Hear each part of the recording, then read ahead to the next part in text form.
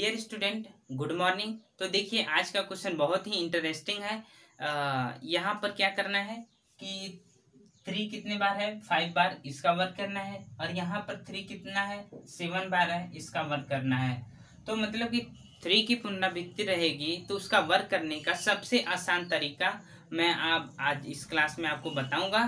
तो आप इस तरीके से अब हल करेंगे तो शायद ती, तीन या पाँच सेकेंड में आप हल कर पाएँगे। मेरा ये विश्वास है कि इस आप ट्रिक के माध्यम से आप हल कर पाएँगे। कितना भी आपका पुनरावृत्ति हो, जैसे यहाँ पर पहले में कितना है? फाइव बार और दूसरे में कितना है?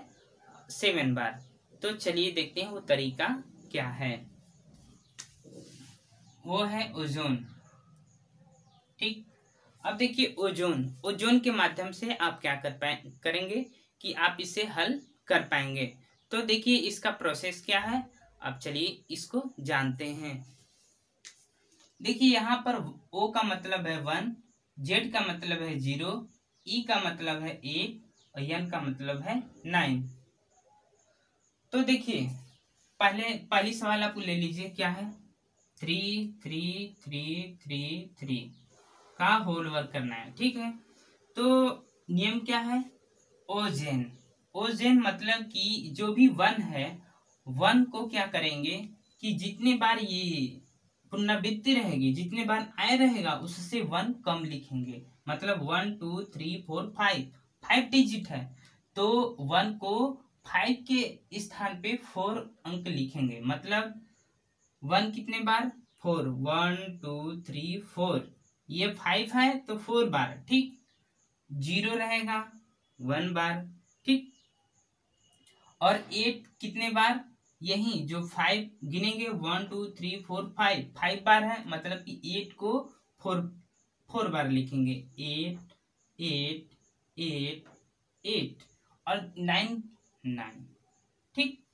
अब ये हमारा आंसर देखिए, आपको समय लगा? नहीं. तो देखिए, आप इस तरीके के माध्यम से आप हल कर सकते हैं। तो देखिए, अगला क्या है question three three three three three three three ये सेवन बार ठीक?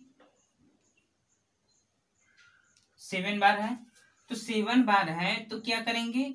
सेवन की जगह सिक्स सिक्स बार वन तो इसका हो जाएगा one one one one one one कितना हुआ? सिक्स अब देखिए ज़ीरो वन। तो फिर इसके बाद एट की कितना है?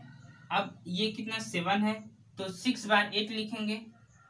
Eight eight eight eight eight eight six बार हुआ, और ये नाइन वन ठीक है?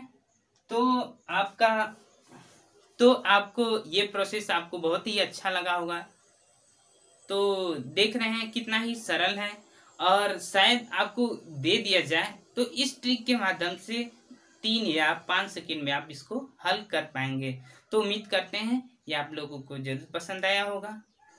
हेलो दोस्तों, यदि आप इस क्लास को देख रहे हैं, यदि आप इस क्लास को देखने से, यदि आपको कोई जानकारी मिली हो तो प्लीज़ लाइक और शेयर कीजिए और हमारे इस क्लास चैनल को आप सब्सक्राइब करके बेल आइकन को प्रेस कर दीजिए, क्योंकि प्रत्येक क्लास में एक नए नए सवाल के साथ हाजिर रहते हैं।